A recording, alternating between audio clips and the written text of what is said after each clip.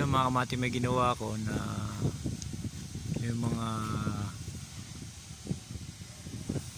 tela mga kamatik ginawa ko sa plastic. Sinubukan ko uubra sa plastic mga kamatik yung nabebenta sa mall ang ginawa ko. Pero sa tingin ko hindi mo ubra kasi yung kanyang kawayan ay hindi siya pantay mga kamatik kaya tumatagilid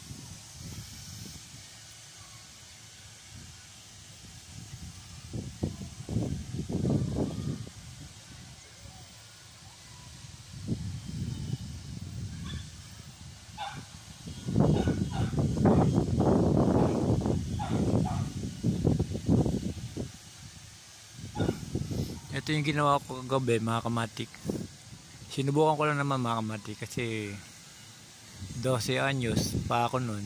Ito na yung ginagawa ko eh. Tinatahi ko dati sa tela to. Ngayon ginawa ko lang sa plastic. Sinubukan ko kung po pwede.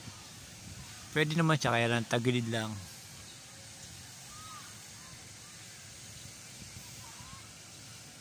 Yan sa ringgola na yun mga kamatik. Kaya yung mga ah yan yung sa ringgola ng mayayaman. Yan, plastic. Yung na binibenta sa mall, mga tela. Sinubukan ko lang kung sakasakaling mobra mga kamatik baka puro tela na lang din gagawin ko mga kamatik kaya lang obra sana ang problema mga kamatik hindi pantay yung kanyang kawayan kaya tumatagilid siya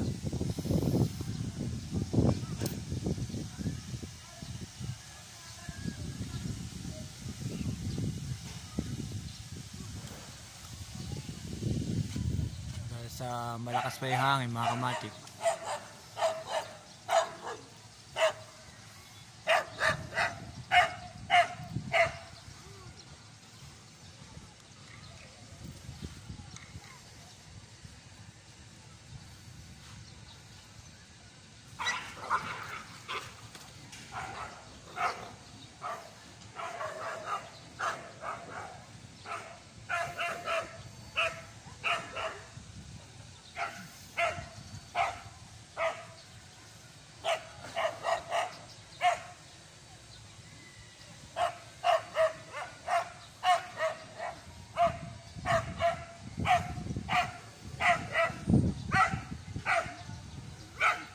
Pero sa pangalawang pagkakataon mga kamatik, ah, gagawa kong mas maganda pa dito mga kamatik. Ito try testing lang naman to. Sinubukan ko kung ubra.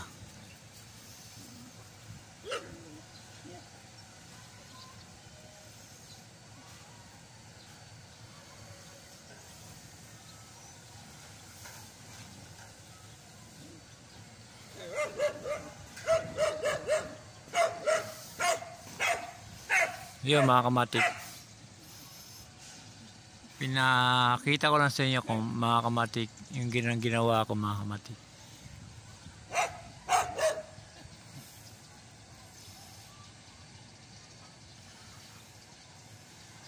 Okay naman siya mga kamatik kung hindi siya malakas hangin, mahina.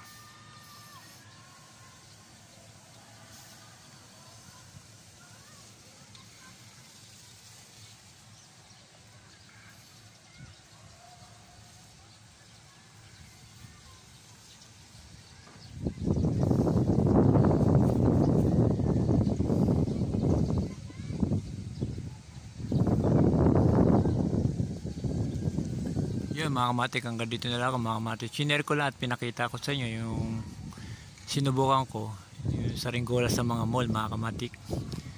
Tinatahi rin to kahit plastic siya. Tinatahi. Sinubukan ko lang sa plastic kasi dapat dito mga tela eh. Tinesting ko lang sa plastic kung sakasali mo bra, puro plastic gagawin ko. Kaya lang medyo nagkaroon lang tayo ng problema sa kawayan mga kamatik. Kaya patagilid siya.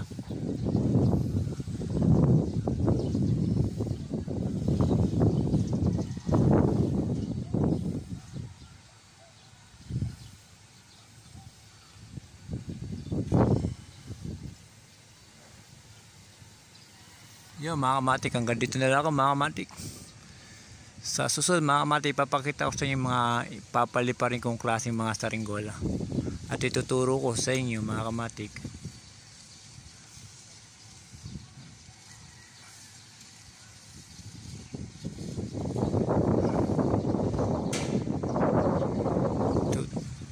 Papakita ko sa inyo mga kamay sa susunod. Yeah, mga kamatik, hanggang dito na lang ako. Salamat!